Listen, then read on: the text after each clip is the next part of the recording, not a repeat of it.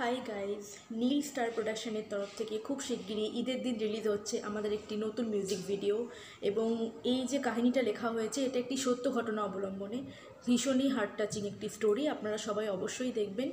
আর এটার জন্য আপনাদের করতে হবে subscribe Neel star প্রোডাকশনকে N I double L S T A R Neel star production মেকআপে সোমনাথদা ভীষণ ভালো মেকআপ করেছে।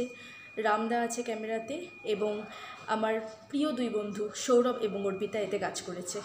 আপনারা অবশ্যই অবশ্যই অবশ্যই সাপোর্ট করুন। Thank you guys